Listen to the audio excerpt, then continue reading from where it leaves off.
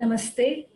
Welcome to day 23 of the one month long Oneness Festival on Adi Shankara, organized by the Advaita Academy. Today, we have a live talk by Subramanian Chidambaran on Shankara Digvijaya and a video presentation on human excellences in Shankara's personality by Pujya Swamiji Bhumananda Tirthaji.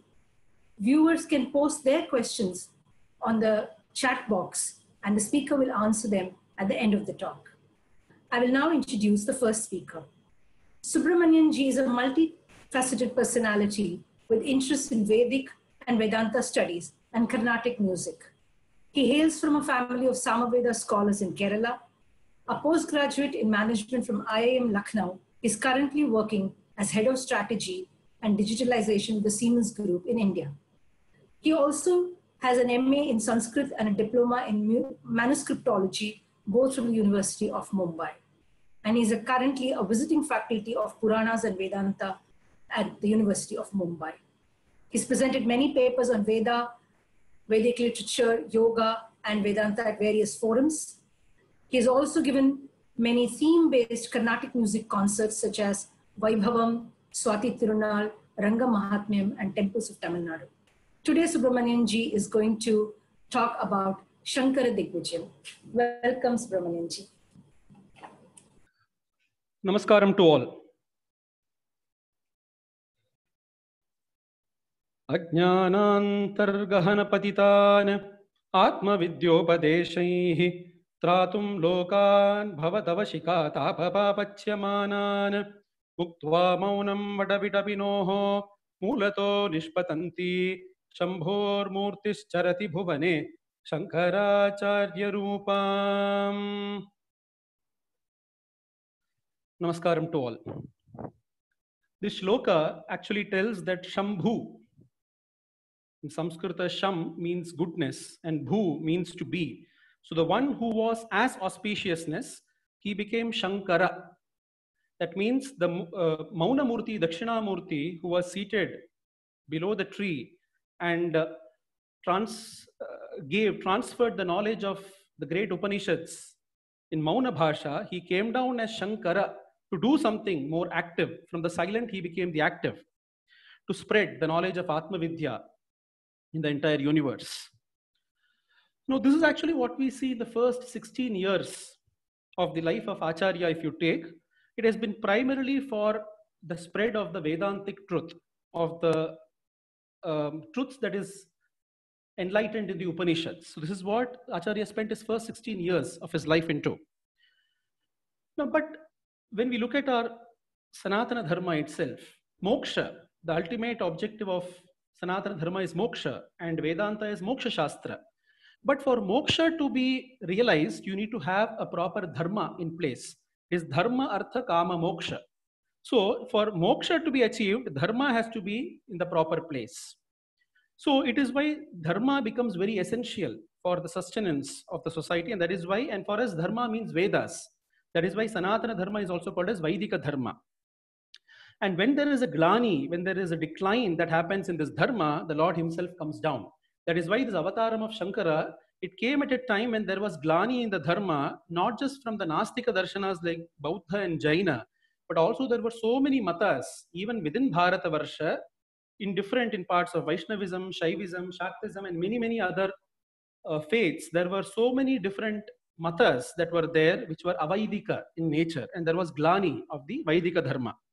So that is why the lord says yada yada hi dharmasya glanir bhavati bharata abhyuttanam adharmasya tadatmanam srajamyaham when the glani happens in dharma in this vaidika dharma the lord comes down. And that is why acharya shankara comes down to give a resurgence to this vaidika dharma that is why we have a name for acharya as dvisaptati Mathochetre Namaha, that it seems there were 72 faiths, 72 matas at that point of time, which were avaidika in nature, which were not conforming to the Vedic dharma, which the uh, which the Acharya had to uh, had to remove from the Bharata Varsha.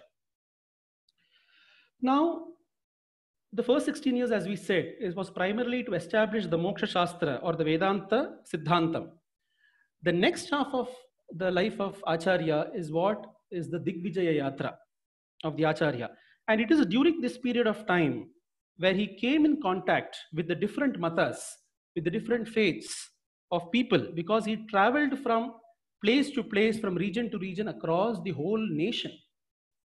You know, this has been uh, keeping in uh, line with the tradition of the Alvars and the Nayanmars of the Bhakti tradition. They traveled from temple to temple and sung on the Lord there. It is this kind of a tradition that the Acharya also followed, where he went from temple to temple, from region to region, place to place. He spoke to the scholars in that specific area. He saw the rituals, he saw the traditions, observances in that area. He observed all this and then he saw what is Vaidika, Vaidika, and he made the necessary uh, Uh, reformations, transformations in those rituals and those traditions to make it into the Vaidika Dharma. If I were to give you a just quick overview of the Acharya's travels, you know, this is how it will look like. Right from Kaladi down in the south, see the way he's traveled across. You know, just across Bharatavarsha, and this I'm talking about the Bharatavarsha that existed at that point of time, you know, which, which just doesn't comprise the modern day India. It also comprises Pakistan, Afghanistan, Bangladesh, and many, many other areas. It's a huge piece of land. And Acharya traveled to all these areas and it's impossible for me to cover in 30 minutes, you know, to cover this entire journey of the Acharya. So I will touch upon a few temples, a temple travels of the Acharya in his sojourn, what kind of uh, observances he came across and what were the traditions and rituals that are still, still being followed by the Acharya visiting these places. This is what I will try to cover to the extent possible in the next 20-25 minutes. Now, coming to the sources. Now, always in our Indian um, history, this is always a big problem. You know, the sources, because many times it's not documented enough because our sages and rishis didn't ever believe in talking about themselves. So many of the details are very scant in terms of did Acharya really go here? Did Acharya really go there? Did he really compose this? So there are many, many arguments. But we will remain free from all these arguments. But at least the sources that I've taken the, the biographies of the acharyas, which are called as Shankara Vijayams, there are many, many Shankara Vijayams, as you can see here. At least we know of 10 to 12 Shankara Vijayams that were there. Many of them are not available today. The most famous, of course, is the Madhaviya Shankara Vijayam, uh, written by Vidyaranya Swamigal. So this is one of the key sources that we have taken. Also, the Acharya's literature, the Stotra literature, which we have, which I have highly relied upon, and the traditions and the practices that were followed, that are still being followed in different temples and regions, which stand testimony to the fact of Acharya's contact and Acharya's impact of the traditions in those places. So these are all the sources, the background from which I have uh, developed this, uh, this presentation. Now let's start from the beginning itself. The birth of the Acharya. It would be really surprising to you that such a great personality whom we are celebrating now, you know, nearly for a month. For many, many years after his advent and many, uh, a few hundred years after that, his place of birth was lost into obscurity. People did not know where he was born. People did not know when he was born. Of course, the, the works of the Acharya were still relevant and still were being in circulation, be it the Bhashya literature and other things, Stotras, but nothing more was known about the Acharya we should thank our deepest gratitude to the 33rd Jagat Guru of the Sringeri Sharada Peetam, Mahasannidhanam, Sachidananda Shivabhinava Narasimha Bharati Swamigal, who through his single focused effort by reading through the Madhaviya Shankara Vijayams and by and with the help of the king of the Travancore dynasty then, Moolam Tirunal Ramavarma, they were able to spot on, identify the Kaladi, the village of Kaladi in Ernakulam, which is there today, the, the place that we identify today as the birth of Acharya, build a temple there. So it is his, it was his greatest reverence for the Acharya that, that helped him, you know, identify the spot of the birth of the Acharya, the day of uh, birth of the Acharya, start celebration of Shankara Jayanti. So all this began because of the Acharya, because of the 33rd Jagat Guru of Sringeri Sharada Peetam. So our deepest gratitudes. So you can imagine, you know, history gets lost just like that because we don't believe in documenting many of these. So this is where the birth of the Acharya itself came into light. Now, the birth of the Acharya itself is related to a temple. If I, if I speak about the temple travels, it starts right from the birth of the Acharya itself. The very first line of the, uh, the second chapter of the Shankara uh, Vijayam, Madhaviya Shankara Vijayam, it starts with Tato Maheshaha Kila Keraleshu Srimad Vrishadrau Karuna Samudraha Purnanadi Punyatate Swayambhu Lingatmana Anangadaga Virasit. It says that in Vrishadri, Vrishabhachalam, in Kerala Pradesham, there's a place called Vrishabhachalam, and in that Vrishabhachalam, on the banks of the Purna Nadi, Swayambhu Linga, the Lord incarnated, manifested himself as a Swayambhu Lingam, Swayambhu Lingatmana Anangadaga Virasit, which is very close to the Agraharam of Kaladi.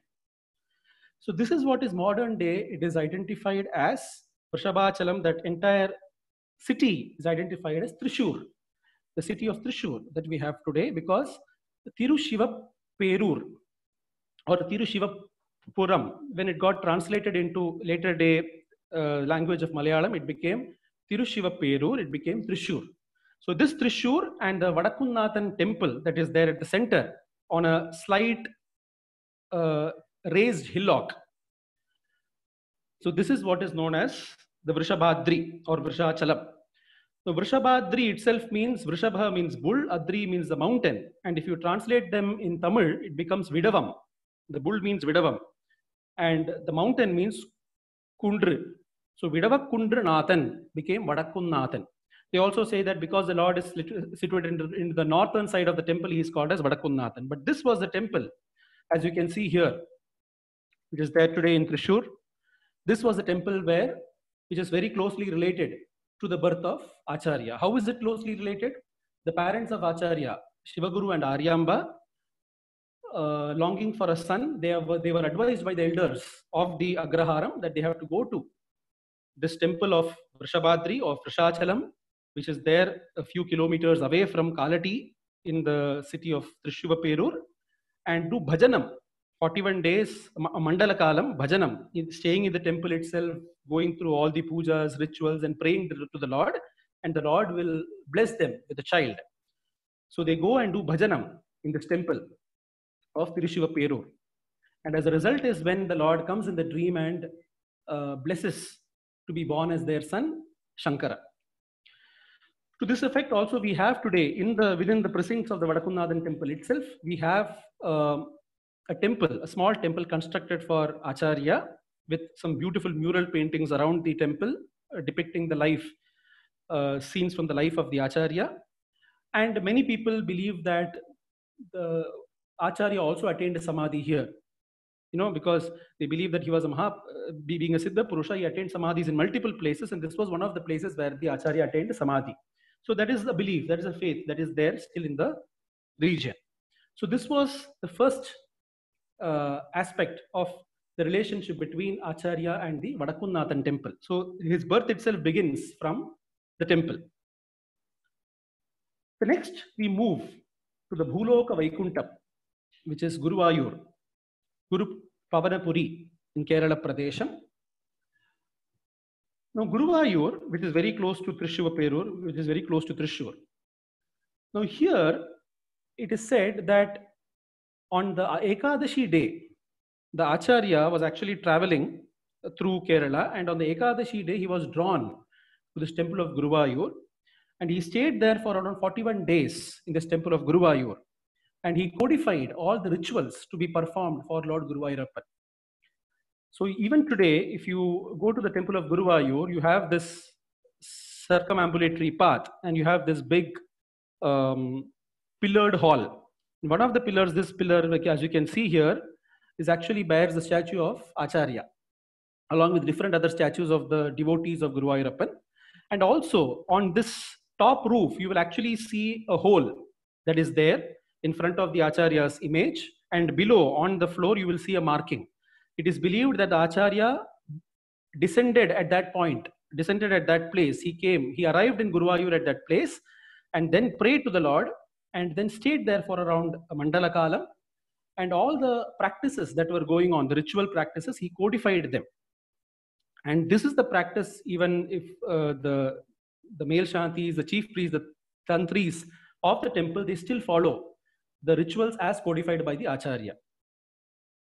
So the day he arrived is the Ekadashi day. That is also one reason to celebrate that Ekadashi as a Guruvayur Ekadashi. It's also called as a Mokshada Ekadashi of Mrigashirsha Masa. We have five times puja a day in the Guruvayur temple, and it is one of the temples in Kerala where the tantric worship has been followed in an unbroken way, and it has been followed to the T without any kind of compromise or any kind of leeway. It has been perfectly followed to the T as codified by the Acharya. When I speak of Tantra, I just need to mention here the tantric form of worship is not necessarily always involving Vamachara or evil practices. You have different kinds of tantric practices in India in different regions, especially in Kashmir, in the West Bengal region, and in Kerala. These are the three main hubs. The Kerala Tantram is mainly Satvika worship. So all the temples in Kerala, actually you will see the form of worship is based on the tantric way. And the tantric worship, which is followed in most of the temples, including Guruvayur, is the tantric way that is more or less the tantric form that is more or less codified and given by the acharya himself. And uh, acharya actually was is credited with composing the prapanchasara tantram which is one of the literatures one of the founding literatures for the tantric way worship in kerala. They still have this as one of the basic fundamental literature books that is being followed. And then later on came many other tantric literatures including the, the tantra samuchaya which was based on the prapanchasara of uh, acharya so you see here, the first 16 years we spoke about the Acharya spreading Vedanta Tattvam. Now he's coming to temples, he's coming in contact with religion, he's coming in contact with the faiths of the people. And what is the uh, the ingenuity, what is the genius of the Acharya that he also knows how to codify the different other Shastras like the Tantra and Agama. These are all very different Shastras to Vedanta. But Acharya was an expert in everything. So he knew how to ensure that these also should be codified in such a way that people can be led to liberation, you know, in these practices as well. Then we come to the temple of Tiruchendur on the seashore of Tamil Nadu, which is on the, on the, on the eastern shore of the country, very close to uh, nearby Rameshwaram. In Tiruchendur, the Acharya visits and he, he uh, sings the famous Subramanya Bhujangam here in the temple here. And that reflects different aspects of this temple.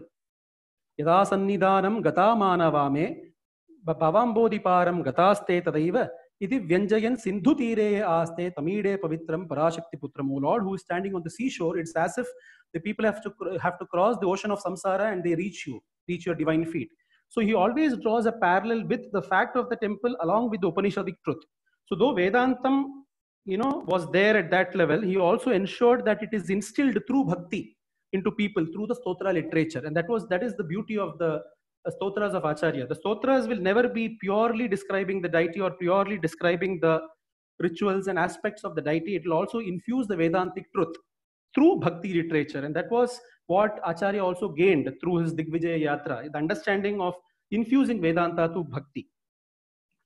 And the famous uh, line that you see in this Subramanya Bhujangam, Apas, Apasmara Kushtak Shayarsha Prameha ज्वरोन्माद गुल्मादि रोगा महांताः पिशाचाश्च सर्वे भवत्पत्र बोधिं विलोक्य क्षणात् तारकारे द्रवन्ते।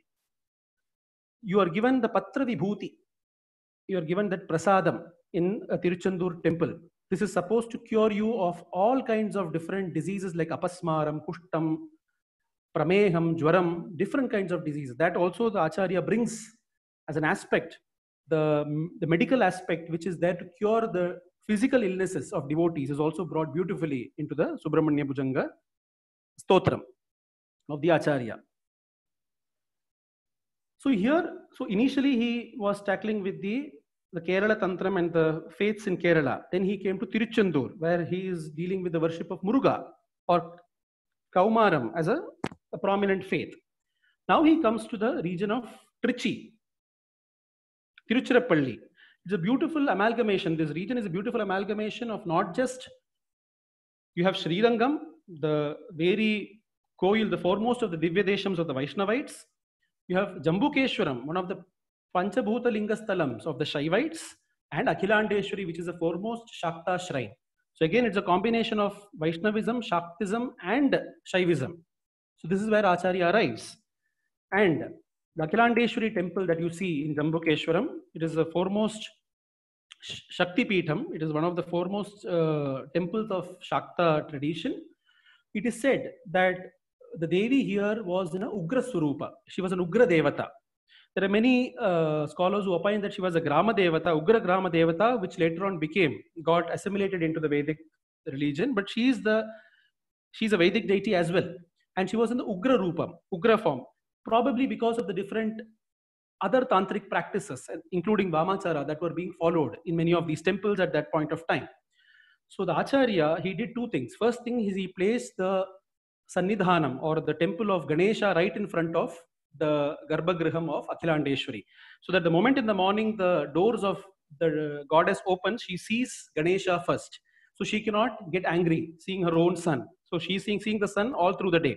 So that was the first level of bringing her fury down. And the second is he also did the Tatanka Pratishta. That is, he designed two ear ornaments in the form of Sri Chakram and he placed them in the ears of the Divine Mother. He took away the wrath of the wrathful aspect, the furious aspect of the Divine Mother of the of the Vigraham into the Sri Chakram. And this is beautifully explained or mentioned by Muthuswami Dikshitar in the Kriti Sri Mata Shiva Vamange, Sri Chakra Rupa Tatatanke Mamava of Begada this Ragam Begada, he beautifully explains, he starts with this.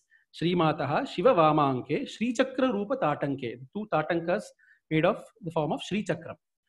Actually, um, if you read the story of Kanchi Paramacharya, Mahaperiyava, when he visits in his first Digvijaya Yatra, when he visits Jambukeshwaram, Akhilandeshwari, they actually, the people there request the acharya to do the, re, the repairing of the tatankam. The repairing of the tatankam needs to be done at specific periods of time, and that repairing can be done only by the uh, the acharyas of the Shankara Sampradaya.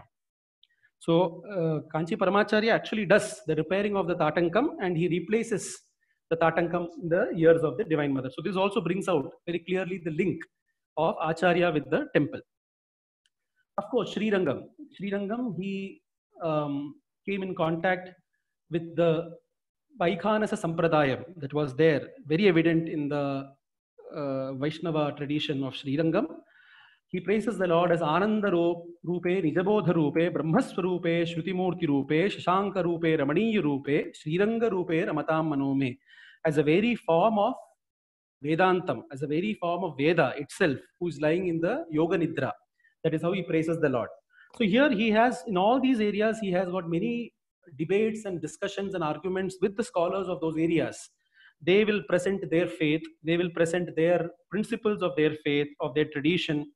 Then Acharya will put forth the principles of Vedantam, of Advaitam, and then they will start discussing. And then they will reach a conclusion or an inference where the other people will either accept or in few cases the Acharya, if he believes that that faith doesn't do much harm to the society and it is do it is in line with the Vedic tradition, he just leaves that to be the faith of the people and he moves on. So this was the method that Acharya followed from temple to temple. And here he comes in acquaintance with the Vaikhanasa Sampradayam. So he acquires what is the principles of the Vaishnava Sampradayam in these temples. Kanchipuram. Kanchipuram is actually the hub of learning. Just like Kashi is in the north, Kanchipuram was the hub of learning in the south. And you have most of the scholars if they have to prove their mettle, if, they have to establish their uh, Siddhantam or supremacy, just like people went to the Kashi in the north, which even Acharya went to establish the Advaita Vedantam, they come to the south in Kanchipuram. That is why in Kanchipuram you find an amalgamation of not just Shaivism, Vaishnavism, Shaktism, Buddha, Jaina, all these uh, matas, they flourished in Kanchipuram. So you have the Buddha Kanchi, Jaina Kanchi, Shiva Kanchi, Vishnu Kanchi, different kinds, different regions, even within Kanchipuram itself. Of course, the most famous aspect of Kanchipuram, so this is mentioned in the Madhaviya Shankara Vijayam itself, Dravidam Tato Jagama Kanchim Nagarim Hastigirehe Nitamba Kanchim. He, he came to Hastigiri, you know, Attigiri, which is what, where the Varadaraja Perumal stands. He stands on Attigiri, Atti Varadar. So he comes to this beautiful temple town of Kanchi. And one of the most important aspects relating Acharya with Kanchipuram is the temple of Kamakshi Amman. So here again, it seems that during that period of Acharya, just like in many other Shakta temples also it was happening, the tantric practices that were being followed had a lot of interpolations and a lot of the Vamachara practices and the evil practices of using the Panchamakaram, you know, the meat, the wine, you know, all these aspects had crept in into the tantric practices or tantric way of worship. So it seems when he came here, the entire city was suffering from famine and drought because of the fury of the goddess. The goddess was in the Ugra Swarupam again. Here she was an Ugra Devata. And again, Acharya had to come because the temple was long established even before. It is a very, very Puratana Kshetram which was worshipped by Durvasa Maharshi. The idol was worshipped by Durvasa Maharshi and he used to do Sri Chakra Puja here because the goddess is established as Lalita Tripura Sundari. The form of Lalita Tripura Sundari is the form of Kamakshi. So Acharya then again took the avahanam of all the wrath and the fury of the goddess and he placed he phys- uh, a physical, a permanent establishment of the Sri Chakram right in front of the uh, goddess. It was established and the entire fury of the mother was encapsulated there. And that is where all the Abhishekam and the puja, even till today, it happens. So that is what even the Shankara Vijay mentions that apavarya tantrikam shruti sammatam saparyam. Whatever was acceptable to the Shruti, to the Vaidika parampara, he made all those changes that was necessary in the tantric way of worship, which was acceptable to the Shruti, to the Shrutis or to the Vedic way of worship. And of course, the next big connection that we have is of the Acharya starting the Shankara Matham there. He started, there was a parampara. We have the great Kanchi Kamakoti Pita parampara of Acharya that was also, which also shows the immense uh, linkage or relationship that Acharya had with this place. You have many, many uh, sculptures that you find in and around Kanchipuram which depict Acharya. So these are all of the Ekambareshwara temple. These are of the, the Kachapayeshwara temple, the Kumarakoshtam temple. So all these temples, you have various uh, sculptures of the Acharya indicating the strong linkage that Acharya had in the region of Kanchipuram. Now comes the next big Mahakshetram is that of Sri Shailam. Now Sri Shailam, you have again, it's a um, conglomeration of Shaivism and Shaktism. You have one of, one of the Jyotirlingas, the 12 Dwadasha Jyotirlingas of Mallikarjuna Swami and one of the Shakti Pitams, Brahmarambika. She is the Shakti here. So one of the Shakti Pitams and one of the Jyotirlingams are both located in Sri Shailam. It seems probably that Acharya was very close. This place was very close to the Acharya's heart because in other cases he has composed the stotra on the deity. So that is why you find the mention of the deity. But the mention of Mallikarjuna Swami and Brahmarambika, of course, on, on Brahmarambika he has composed, he is composed in Ashtakam. But the mention of Mallikarjuna Swami and Brahmarambika also comes in stotras which are not on specific on any specific temple or any specific form. For example, the Shivananda Lahari. Is his utmost devotion of the Acharya towards Shiva, towards that Parabrahma Swarupam in the form of Shiva. But even in the Shivananda Lahari, you find a slokam which says, Seve Srigiri Mallikarjunam Mahalingam Shivalingitam. So it is very commonly believed that the Acharya composed the Shivananda Lahari in Sri Shaila. And it was, even today, it, it reverberates with the spiritual uh, energies of Shaiva Shakti and um, of Shaivism and Shaktism. And of course, you have the Ashtakam of Brahmaramba, Sri Shaila Sthala Vasinim Bhagavatim Sri Mataram Bhavaye. This is how each of the Ashtakam ends, each of the verse the Ashtakam ends. Not just this. Here you find those beautiful Phaladara Panchadara. If you visit Sri Shailam, you should go into these. It's still, uh, the forest areas are still maintained in Sri Shailam, and you have the places where the Acharya did uh, meditation, tapas, all these areas are there, and you have detailed descriptions mentioning that here he composed the Lahari, here he composed the Saundarya Lahari. There, one of the uh, highest um, book uh, literature on yoga. Acharya has also composed the Yoga Taravali, which is one of the foremost books in the practice of yoga. In Yoga Taravali, which uh, enlists out the different aspects of yogic aspect, yogic practices, he mentions Sri Shaila Shringa Kuhureshu Kadopalapsye. He wants to be in Samadhi. Mano Vilayam Samadho Sri Shaila Shringa Kuhureshu Kadopalapsye. When will I get to be in Samadhi state in one of the caves of Sri Shailam? Because it is reverberating with that spiritual energy. It automatically uplifts the sadhaka to a different level. So this you find in the Yoga Taravali, the mention of Sri Shailam. And of course, the very famous episode, because even till today, it's a very uh, hub of Shaktism and Shaivism. Naturally, there were many other aspects of Shaivism also, like the Kapalika Matam. The different evil aspects of Shaivism were also there that were present during Acharya's time. That is where you have the famous story of the Kapalika who comes to Acharya and tells him that I have to give Narabali and you are such a divine soul. If I give Narabali of your you to Kali, then she will be very appeased with me. And Acharya agrees. In the night when everybody is asleep, he goes with the Kapalika. And the Kapalika is about to behead Acharya when Padmapada Acharya, the foremost disciples of Acharya, the uh, Narasimha Avesham comes in him and he comes and he kills all the Kapalikas. He puts an end to all the Kapalikas. This scene is depicted in the walls of the temple at Sri Shailam. So this was the place where it happened because it was a hub of all the different faiths of Shaivism and Shaktism. So including the evil parts also were there. So this is it indicates that during during Acharya's time, these faiths were very well evident, and Acharya had to remove, had to clean uh, these out of the society so that they are harmless to the people. So this is the depiction of that.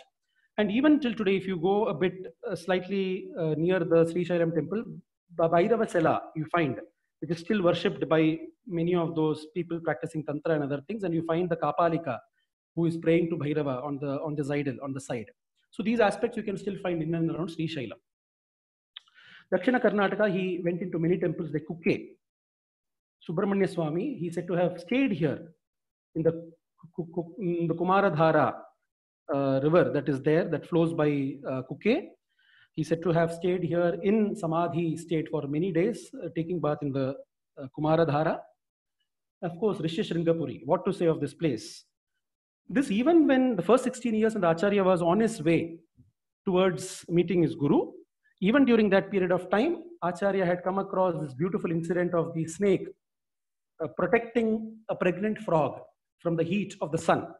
They are natural enemies, the snake and the frog. But in this kshetra, when the Acharya was traveling as a lad of eight years towards meeting his guru in Narmada Tata via Shringapuri, Rishi Shringapuri, he sees a snake protecting the frog, a pregnant frog.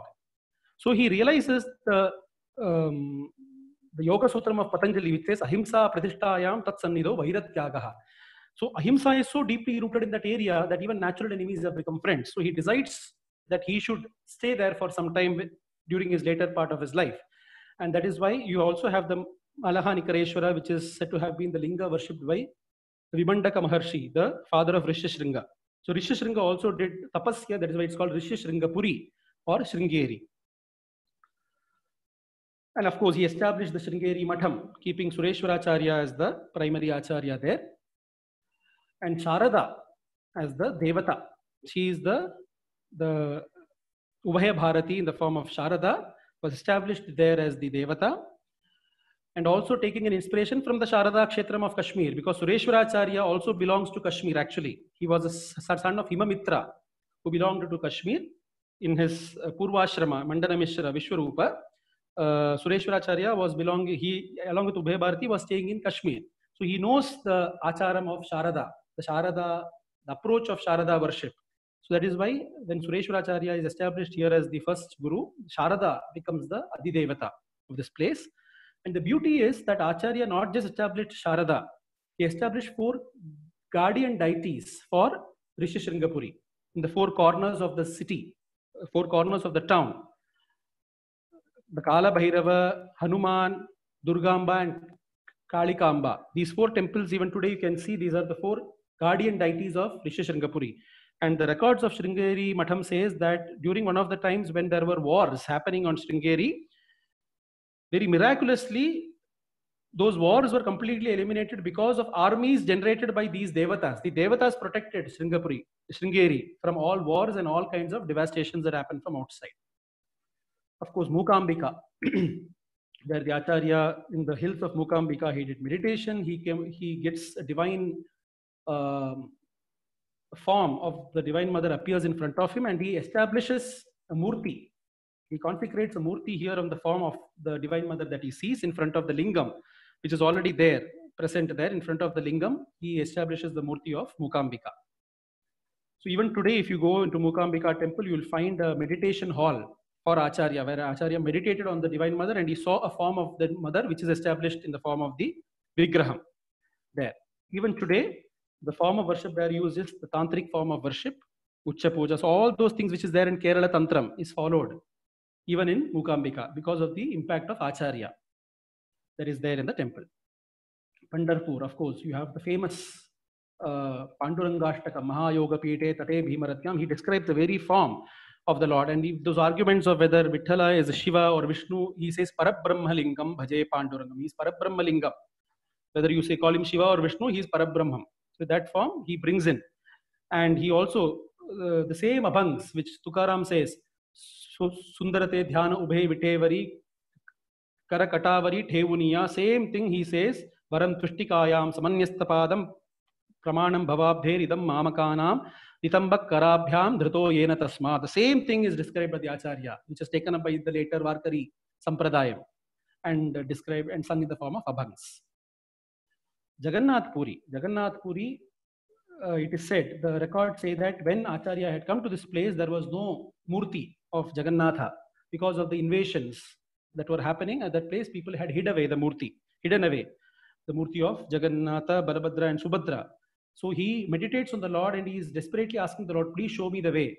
Jagannatha Swami Nayana Pathagami Bhavatume. Oh Lord, please show me the way. And then he finds, through his divine intuition, he finds that it is buried under a banyan tree. And he takes it out and he replaces. So the first Navai the first Navai after many centuries, the Navakalebara is when the Lord is given a new body. So that Navakalebara, it seems through folk legend, we still understand that it happened during the time of Adi Shankaracharya, the Navakalebara after many centuries. And the Lord was reinstalled in Jagannatha. And he also establishes the Jagannatha Pitam, Govardhana Pitam, along with the respective Matamnayam and with the Devi as Vimala Devi, who is a Shakti, who is inside the Jagannatha uh, temple itself as a prominent Shakti Pitam, keeping her as the goddess. He starts a Matha Sampradayam in Govardhan, Jagannatha Puri. Badarikashramam, the greatest credit of Acharya goes in again. When he went to Badrikashramam, the idol was missing. It was only a Shalagrama puja that was being done in Badrikashramam. So again, through, through divine intuition, he finds that the idol of uh, Badri Narayana is there in the Narada Kunda, is being kept because of foreign invasions. So he again takes it out and he reestablishes um, the idol of Badri Narayana there. And even today, the form of worship that is done in uh, Badrikashramam is the tantric form of worship as instituted by the Acharya. And the most beautiful form is the one who is doing that, the Raval, is actually a Kerala Nambudri, which was instituted by the Acharya. So the Kerala Nambudri and the appointment of the Raval happens by the joint uh, decisions of the Garhwal kings of the place of north and the Travancore dynasty in the south. So the Nambudri actually travels from south to north. This is what greater uh, example of national integration do you need? And just for keeping the word of the Acharya, even till today, these the Nambudri families are serving the serving Badri Vishal in Badrika Ashrama. And he established the Joshi Mat there in Badrika Ashrama. So we could touch upon only a few. This is no justice. I cannot do justice to the temple travels of Acharya. We touched on a few temples, but there are many, many more temples that we still uh, haven't thought about. But maybe in a much in a later time when we have more time we will revel ourselves in doing this namaste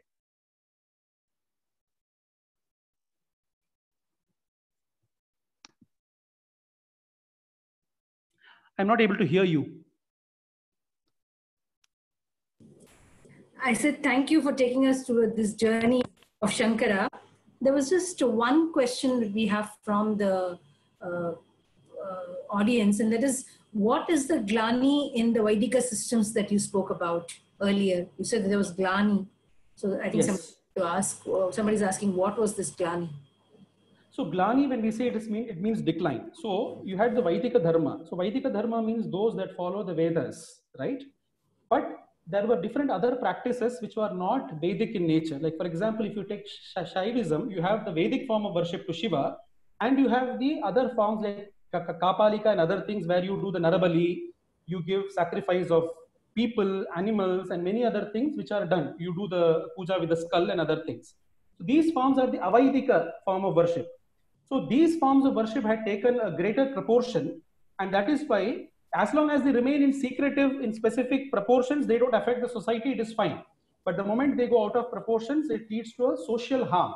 And that is why acharyas need to come to re-establish the Vaidika Dharma and establish the Vedic way of worshipping the deities. So this is just one example I gave in Shaivism. This ex exists in all other forms of worship as well.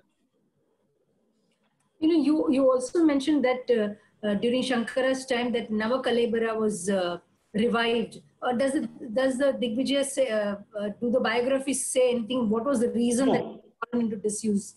So, so this is not uh, part of the Digvijaya uh, or the Shankara Vijaya. This is actually some of the researches done by the uh, scholars of Odisha. There are many articles released by them, and the local folklore they believe that the Nabakalebara uh, happened in the 8th century, 9th century. After a very long period of time, it was during the time of one of the kings of the of the dynasty of the Somadeva and later dynasties. Then Acharya had come there, and along with the king, he had taken up the, and that too, it is made of wood. So the wood had already got, uh, it, it was no more there. Only what was there is a, the, the, the Brahma Padartha or the soul of the Lord was still as it is. So taking the soul of the Lord, the body was rebuilt. So which is what we do in uh, Navakalebara. You give a new body to the Lord, and that was done, and the Lord was reinstalled into this. So this is through more folklore and the local uh, scholars their articles that we see this. Okay. Thank you very much. And uh, we, we were just blessed that we could uh, get this sharing from you. There's, of course, an- one more video session. You can stay back uh, and you can unmute your video and uh, stay back and watch that wonderful session also. And I'll Sure. ask Shankarji to introduce that speaker to us. Sure. Thank you. Thank you.